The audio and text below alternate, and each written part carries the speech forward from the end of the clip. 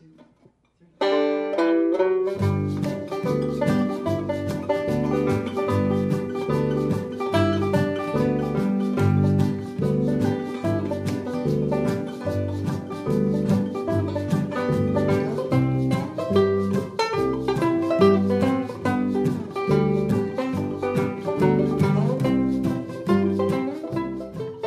a full featured human settlement in which uh, human activities are integrated with the natural world in a way that's sustainable into the indefinite future. Um, a family home on the farm that converted to a hostel, and so we went back and started um, putting in dormitory beds and, and uh, extra showers, have uh, some workshop space and some gardens and things, and be able to, to show in microcosm what the farm had been doing as the larger entity for 30 years. And so we created this sort of model little village within the village here at the Eco Village Training Center. Now we've got um, a two kilowatt uh, solar array to provide off-site power, on-site power. We've got um, water catchment on all the roofs, so we're actually channeling from the gutters into the cisterns. Uh, we're, we've attached a greenhouse for keeping plants uh, healthy in the winter. We've got um, different systems in place for providing for the comforts for all people who come for the workshops, and in a way that doesn't use a lot of utilities or external off-site power.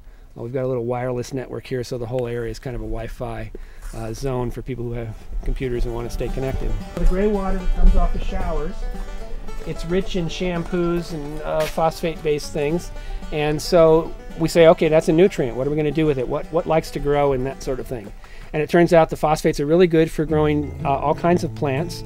So we have a series of ponds here, little constructed wetlands that carries the water from the showers through the through the system and into the chicken and duck area.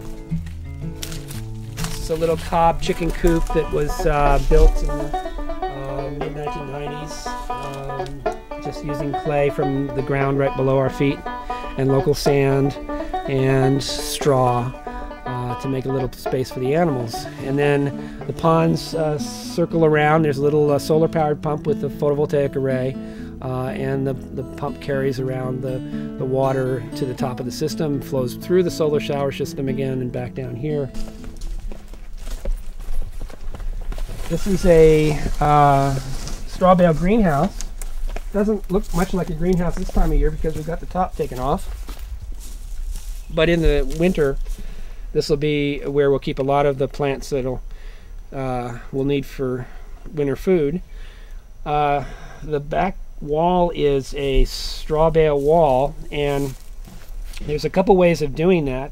One would be just to cover it and stucco it with clay or cement or lime, uh, and just keep it as a permanent insulating wall. Uh, what we do is we expose it and what that means is that because it gets wet, it's going to have to be replaced every few years. But then we'll take the straw out and use it for mulch, so it's not a waste.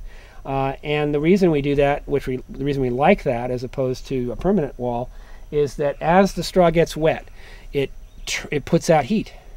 And so in the late spring, late late fall or early spring, we'll get uh, we'll moisten that back wall as we're watering the plants, and the heat that's produced is enough just to keep the greenhouse warm without any external heat. So we try to have a lot of plants um, mixed together in beds rather than whole big sections of monocrop.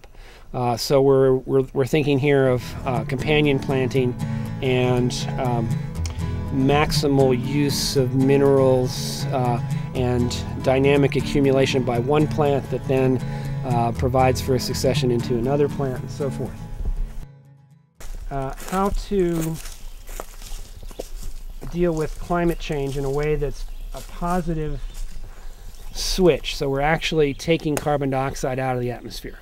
Question is, how can you make forests provide um, more value to humans and to commerce standing than they do if you cut them down and saw them up and turn the place into a cattle yard.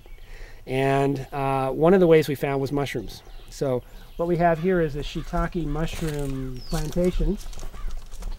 uh, the, the spawn is inoculated into the log. And after four to six months, it starts producing mushrooms. And over the life of a log, it'll probably produce something like uh, the weight of the log in mushrooms. What this has done is it's demonstrated you can get a very valuable resource, this wonderful medicinal and food value mushroom, gourmet mushroom, out of uh, a, a forest without cutting down the trees. And you actually make more money that way than you would if you cut down the trees.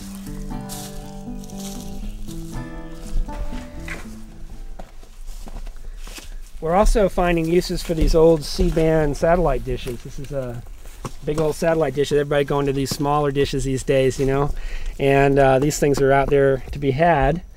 They make a lovely little roof for a structure like this clay oven, but they also could be used for a composting toilet or a, a small addition to a house or any number of things. Yeah, living roof is actually quite uh, helpful in many ways.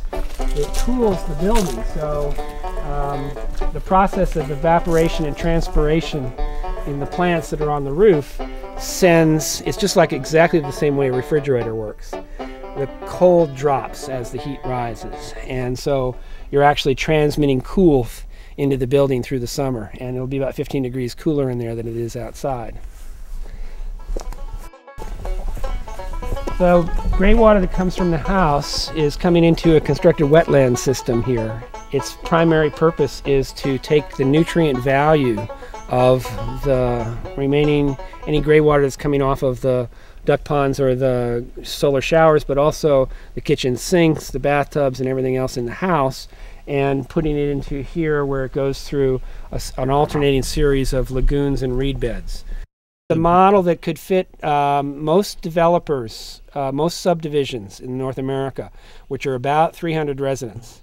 And so that 11,000 square feet that we're using for that is a model for how you can do sewage without having to pump it clear across the county to some sewage treatment plant that costs you $25 million to build and then gets dumped into the nearest river anytime it rains.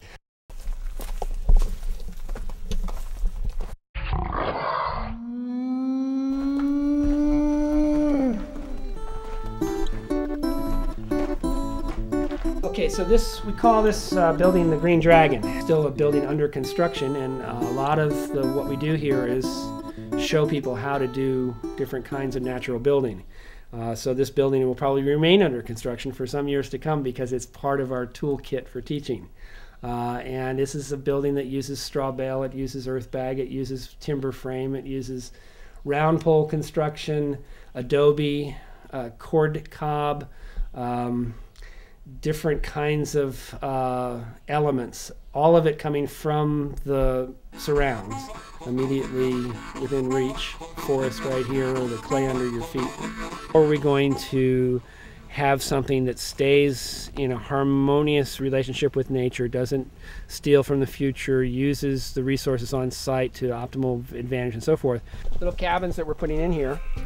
Uh, our idea is that people come for oh, say a month long apprenticeship. And after a while, it's kind of tight confines to stay in the dormitory for that long a time. And what we really need is a bunch of small backpacker cabins on site where people can come and have a little hermitage that they could live in for a month. So we're building these backpacker cabins, which we call hippie tats, as in hippie tat for humanity. Uh, that anybody can build, and we're using straw bale and cob and earth bag and um, various timber frame components to make these little structures. Looks like you got that uh, back room all smoothed out, huh? Uh-huh. Nice. Yeah, just putting on some lawn tape. Yeah, and that'll make it look a lot uh, bigger, actually. That uh, having white walls. Indefinite future.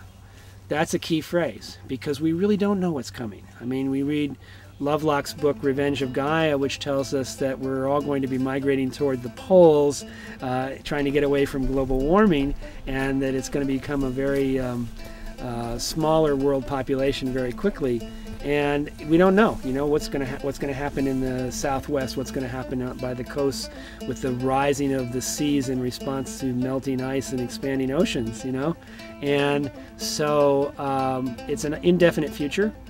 And what you have to do when, when you're planning any eco settlement of any kind is think about what are the uh, deficiencies? What are the abundances? What are what do you have scarcity of? What do you have a lot of?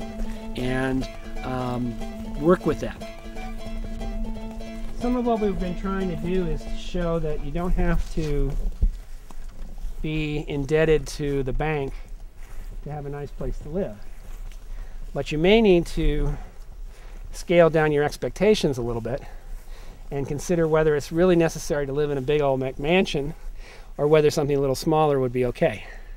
And each of the buildings that we've got here, this Appalachian cabin over here, geodesic dome, the bigger straw bale cabin, runs about $5,000 in materials. And then a bunch of people can get together and put it up in a fairly short amount of time, a couple weeks. So, really, we've taken the bank out of the equation by doing that.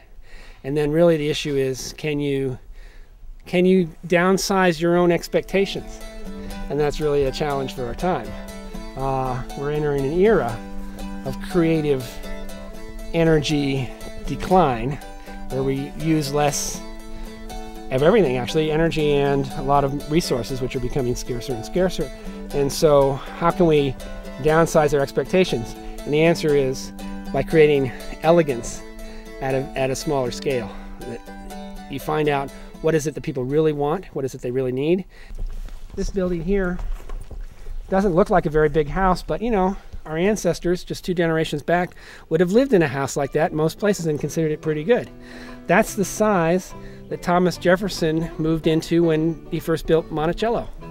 Uh, he and his wife settled into a house just like that. I mean, gradually over the years he kept building it up, but that was the size it was at the start.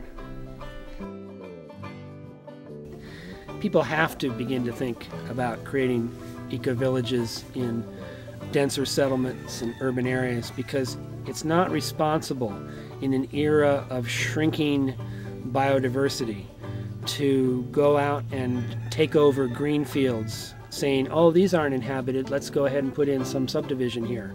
When in fact they are inhabited. They're inhabited by myriad wild creatures that are using those green resources. We can't keep taking from them there aren't going to be enough to support the web of nature that supports us.